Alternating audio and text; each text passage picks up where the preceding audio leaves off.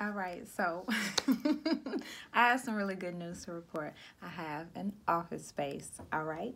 So, no more meeting in public places. We get to have our finance meetings and our personal one on ones in the office space. And of course, if you are not mobile or if you are not located in our area, we can always meet on the phone on conference line. That's not a problem.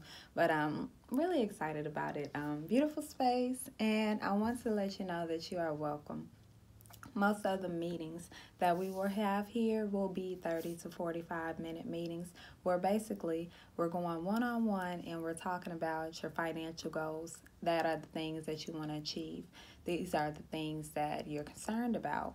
We help people that are focused on financial planning as it relates to their day to day budgeting activities, as it relates to their investment planning activities, as it relates to their retirement strategies, as it relates to the distribution plan associated with retirement or other funds earned. We work out estate planning, we work out business planning in order to highlight specifically succession and um, corporate finance um, measures. We really want everybody to be able to come to our office and um, typically twice a week we can um, twice a week we can do something in the evening time. Of course most of the more most of the meetings are going to be held in the morning time but twice a week we can commit to having evenings so that you know we're open up to everybody in the community.